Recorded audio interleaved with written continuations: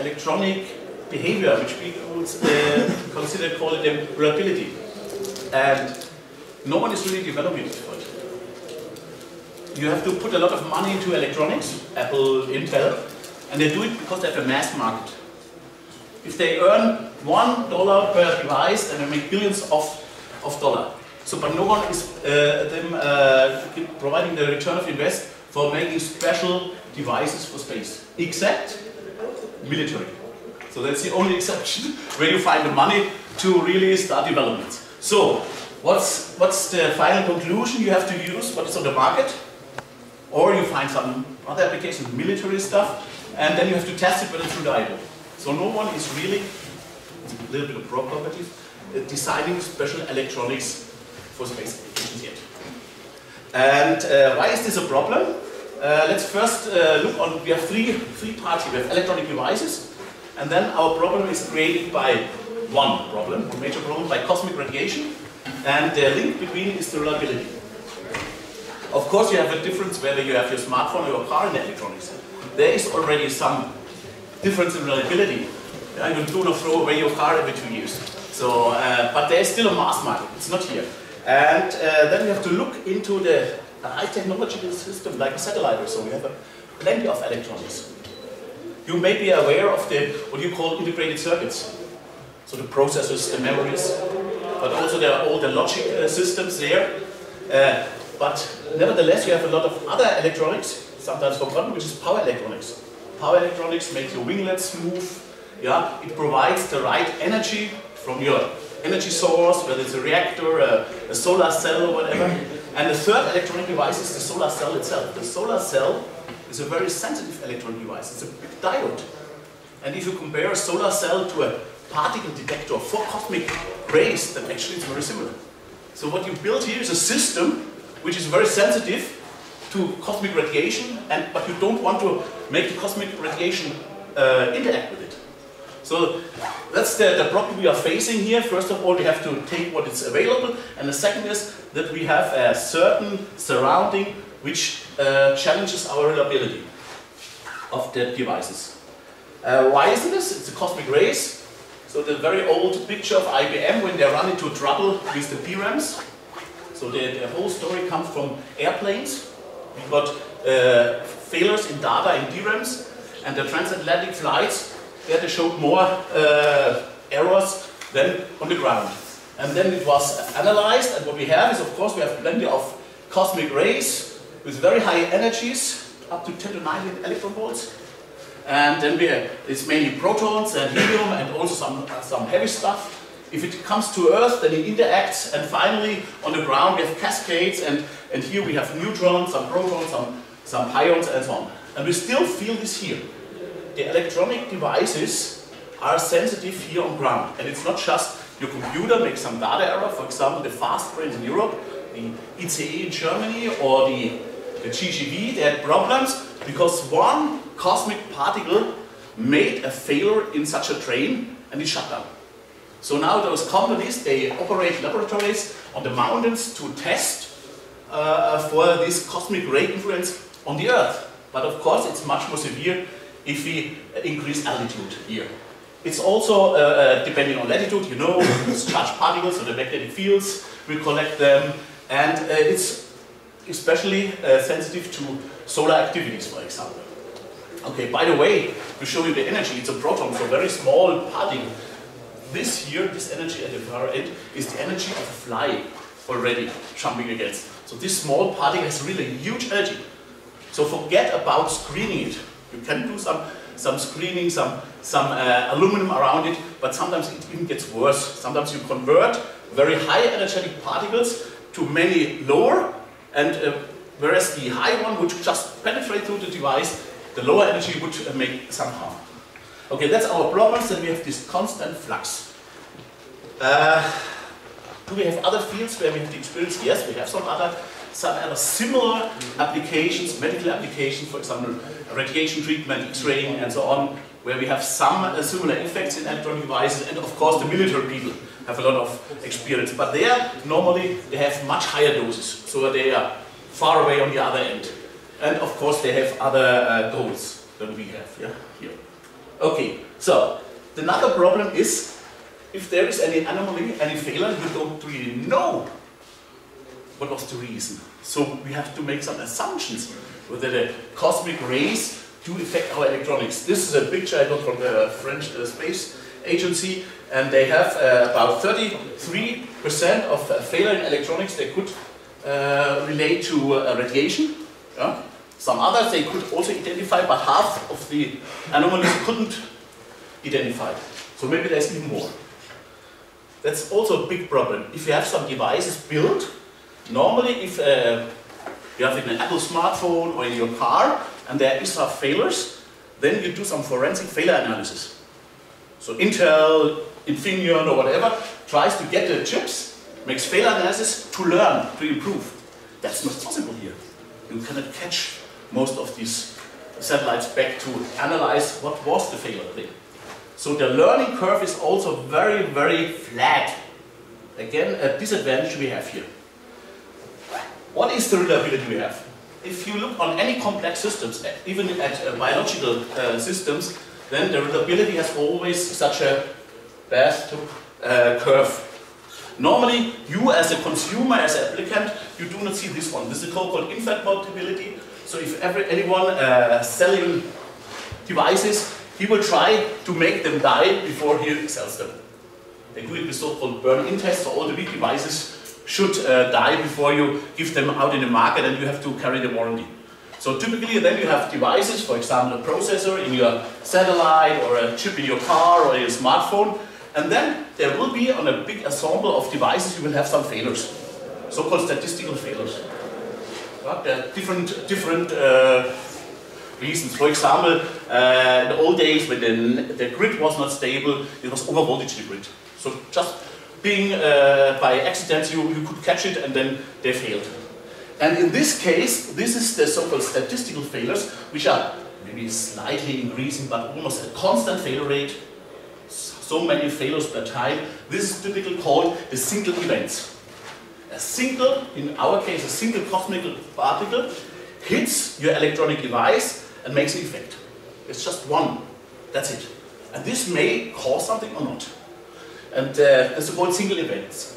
Then, if the device stays there longer under radiation and operation, those single events, sometimes doing harm, sometimes doing no harm, they start a wear out uh, process. Typical example, your solar cells on a satellite start to degrade. Their efficiency goes down.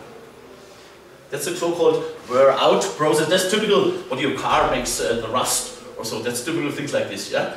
So it, with time it's not, uh, not uh, failing completely, but it's getting worse and worse and worse and worse. So we have these two, two uh, reliability threats in, in single, uh, in, in uh, space applications. The first one, a single upset event, one event, one particle hitting it, can have two types of errors. One is called soft error, which is actually, this is very crude picture, is a data error. So in your processor or so, there's one bit, or some bits have the wrong number. This, in most cases, if you do not do a com uh, complicated calculation, which makes the satellite fall down or something like this, is not so big failure. This was found first in airplanes. Here we have many measures to, to counterattack this malfunction. Yeah? I will show you later. But normally, uh, after soft error, your device is again functional, full function.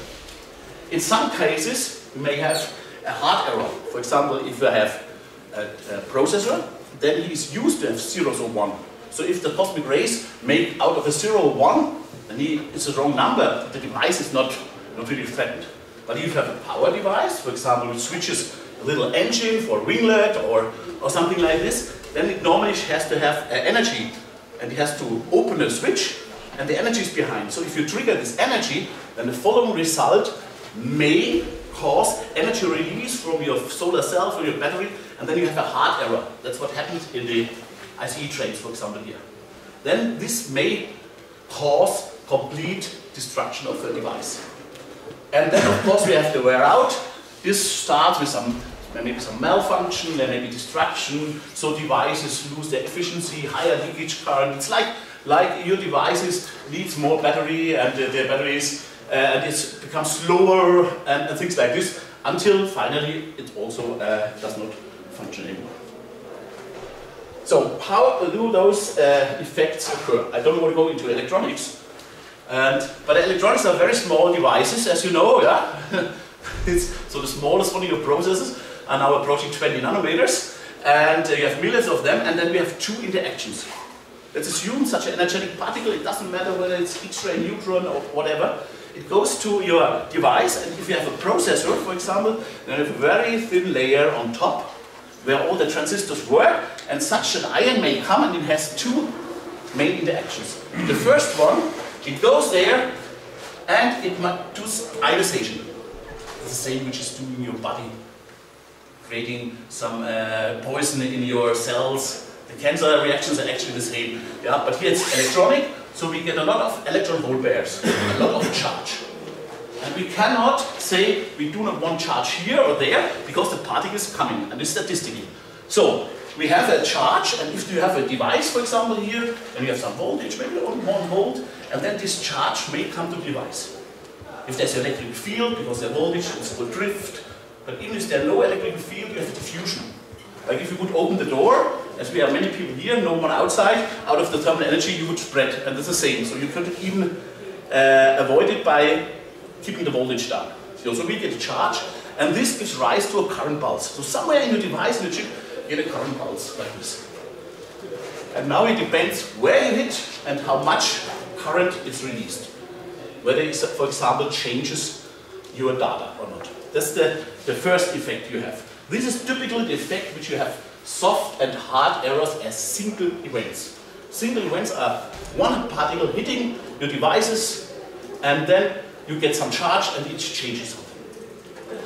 The wear out is different. The wear out is that you're not generating electron hole pairs, so the incoming particle is not giving its energy to the, to the electrons, but it gives to the atoms of your solid, to the nuclei, for example to the silicon.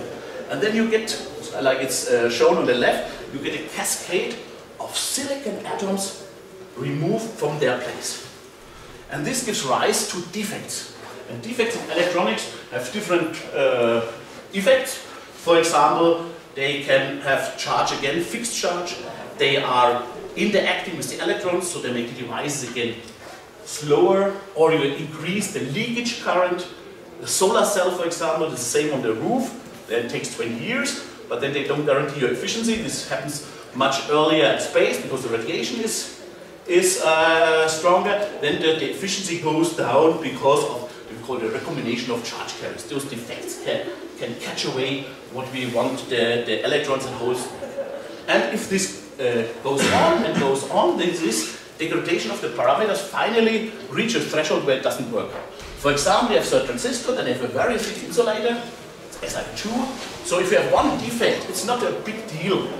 Yeah? There is one defect. Then suddenly you get some more defects, and you get a little leakage current.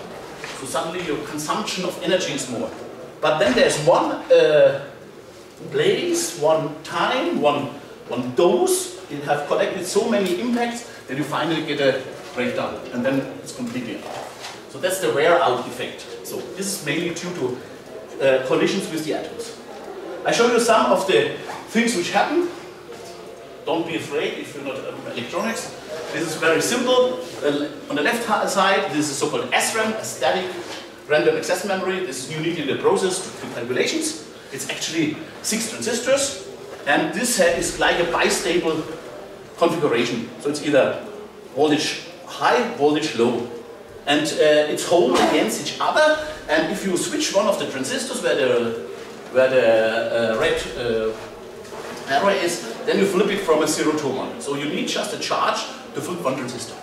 But of course this will, will stay alive because it's built to switch, but it was externally switched. Yeah? Or the other one is on the right side, it's a so-called DRAM. The DRAM is a very simple thing. It's just a capacitor. And this capacitor, you have a transistor to read it, to say, I want to read this bit. And this capacitor has about 20 femtocoulomb as charge.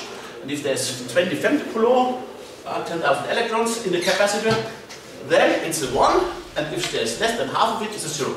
So if there is some, some uh, particles coming with enough electrons here, then it's just changed. So you get one wrong bit. Same with the SRAM shown here, like the gate of the transistor is switched. So that's the called soft errors, very well understood because of airplanes. Are soft error rate, you have big chips, you have big DRAMs, yeah? Yeah we, we, have big software, and software needs big hardware, big memories, and in, in, airplanes we can study this, and we know very well the mechanism, and what we can, uh, we, we know what is the immunity against the soft errors. So, so you have to be aware that there may be some wrong bits in your calculation. How can we prevent it? Uh, very simple. Actually, in this case, the scaling is not bad. The devices become smaller and smaller.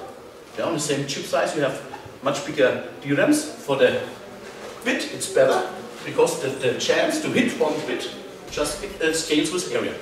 That's what you see in the yellow bar. So the, the immunity of one single device becomes better. Unfortunately, we want to have more of them. Yeah? We are not satisfied with staying with the same same capacitor, so actually it stays the same. That's what you, what you see here. So what can you do? Uh, very simple things. The first of all, you can do software-related uh, check whether there is a bit or not failure. So the simple thing is you, you always store a parity check. You know there should be a certain parity in, in your number you store there, and, and, and at least you know there is some, some soft error. And what you do in airplanes and, and in some space applications, you just store it twice or three times. Normally do it three times.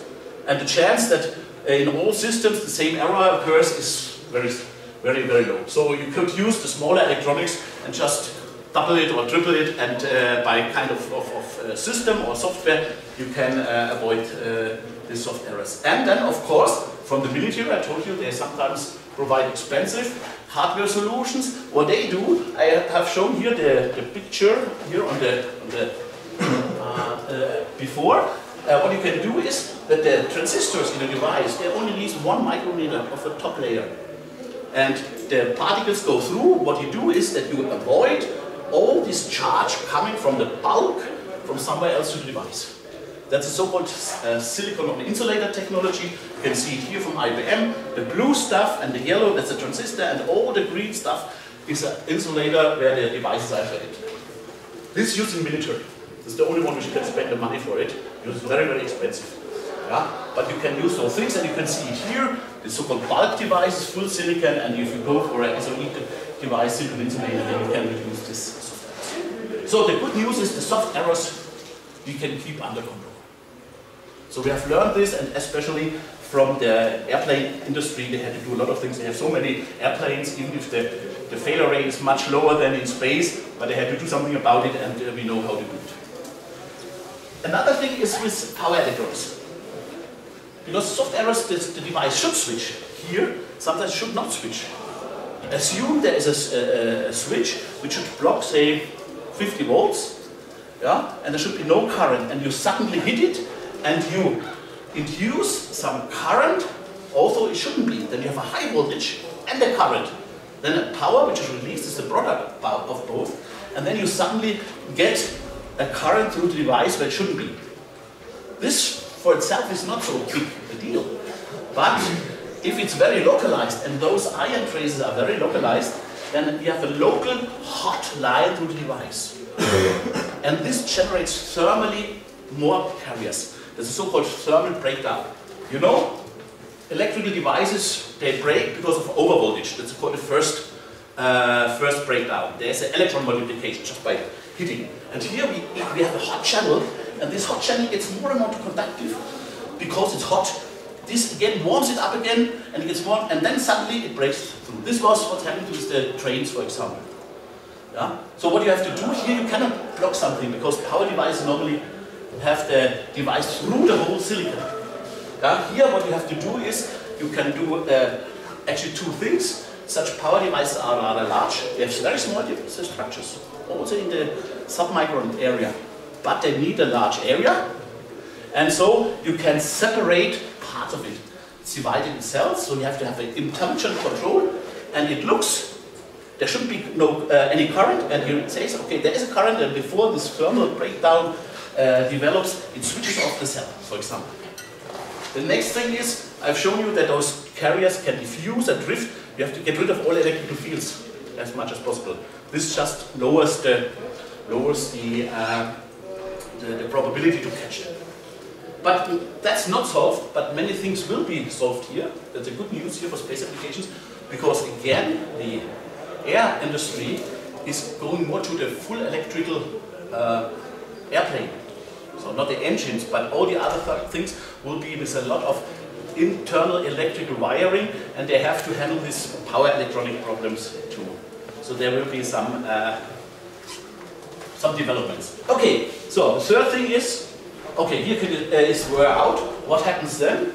Actually, that's the, the slow growing degradation of the device there. Yeah? Of course, the speed depends on, on the radiation flux. If you go somewhere close to sun where you have a real big flux of, then of course we go faster than when you go somewhere uh, in nowhere, let's say this way. way. Uh, what you have here, you get different electrical parameters, there are many of them. So that's very special knowledge I would not mention. But the most important is leakage. You suddenly need much more energy. You're doing the same, the same uh, performance. You get slower and so on. And what is important, your devices uh, change differently. For example, in your, you personally own billions of transistors. You're very rich in, in transistors. Yeah? But they only work because they all work on the same parameters. For example, the threshold voltage, that's when a transistor switches on, has to be very correct for all of them. Otherwise it wouldn't work. And this, as you see here, this is the, the change in threshold voltage for some transistors. And with time, they suddenly spread. Some switch a little bit earlier, terms of voltage, some little bit later, and then it doesn't work anymore. So you have many parameters without making the device malfunctioning itself, that the whole system doesn't work. Or here, solar cells, that's an experiment with a solar cell. You see here, the solar cell, the, the, the, the nominal efficiency. Here you have the fluence, how many, in this case, electrons have uh, hit the uh, solar cell per square centimeter, and you see how it degrades. So your solar cells, which you need for supplying your satellite, is providing less energy.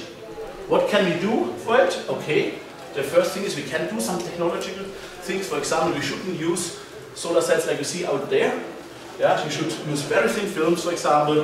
And what you do normally, and that's why we, we also have to use old style devices and not the most advanced, you have to relax your parameters. You have to make electronics which has not the constraints of advanced electronics. Old styles with a lot of voltage fluctuation still makes them run.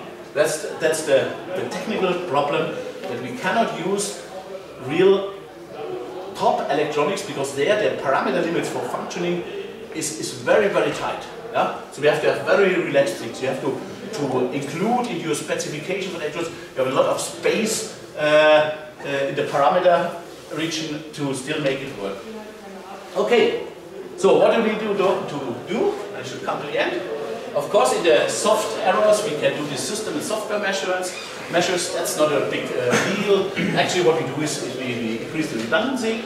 In the power electrons, you have to do very conservative devices, low electrical fields.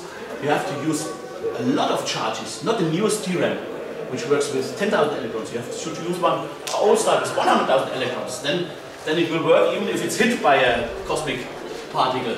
Yeah? So very conservative uh, device architectures. Uh, the, the, most advanced is not the best choice, of course.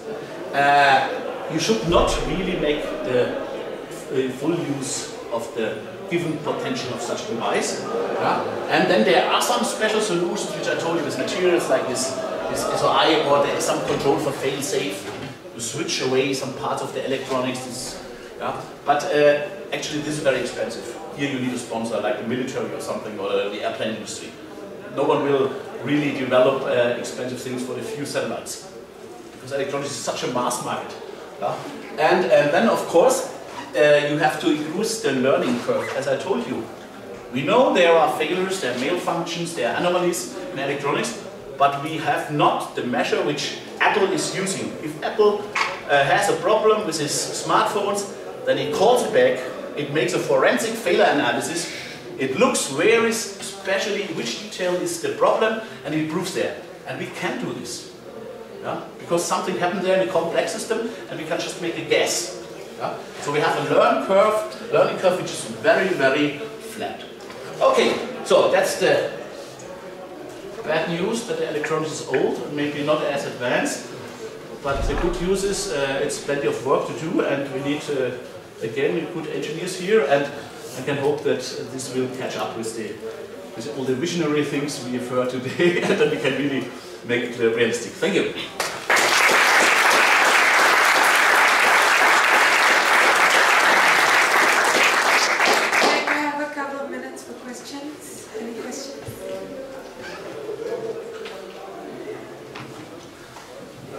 for a very nice uh, presentation. Uh, also, I think maybe there's one one driver also for the old electronics which you didn't mention, and it is the requirement of reliability and, and uh, uh, availability also for, for, for satellite systems, or space systems in general. And um,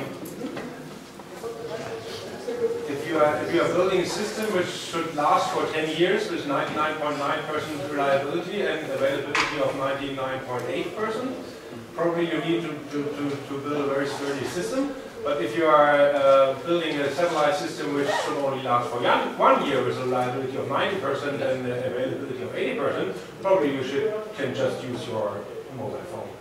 Yes, maybe. Uh, it's even, it's actually, it's even, uh, I don't know, worse or better depends on the uh, point of view. Some of the devices would probably fulfill things, but it's hard to test them and and to uh, guarantee it. That's the big problem. Yeah. So if you you could if you could go here and and uh, test for all the things what people try, especially the military again, of course, yeah, then you will find many devices which are better suited and less suited. It's like if you want to buy very pure materials, if you go to chemical or something, then you probably get the same material which you would have gotten if you would have asked for a lower grade. But in the case of the higher grade, they have the effort to prove that it's as clean as as good so on. And here it's sometimes it's the same. So you're right, I try to show it a little bit black and white. Of course, there's a lot of things in between. And there's a lot of things in the car industry. I don't understand why, but in the car industry, like the companies like Bosch or Daimler, they require lifetime requirements, which I think are very high. And, and, you could probably use a lot of stuff which is there under their uh, reliability requirements. They call ASIL. That's a special. We have special requirements. Uh, how you test devices cars called for military it's MIL, of course, and, and uh, there's a lot of potential around. But it's also a, a lot of work to verify it. Actually, uh, just for, uh, there's uh, actually now two projects. One is of Surrey satellite and the other one is of NASA. Both are using uh, commercial cell phone technology right now to launch into space. And Surrey has made some um, some radiation testing, which are very promising and I think the Surrey project will launch in the beginning of next year. So probably in half a year, we know if your cell phone will work in space. There's also some very uh, low power applications. So uh, of course there was a lot of a lot of scaling of the electronics was not only done for having more performance, that you can better calculations or better graphical uh, displays, but because of power consumption. And uh, the idea of power consumption, uh, technological point of view, like this SOI I showed you, goes very much in parallel to radiation hardness. so maybe by getting uh, devices which consume much lower power to, to, to have a longer uh, operation time with your battery will probably help also to, to solve other problems. So there may be uh, several uh, developments with help. But they don't do it for that. You have to be, you have to look what you get.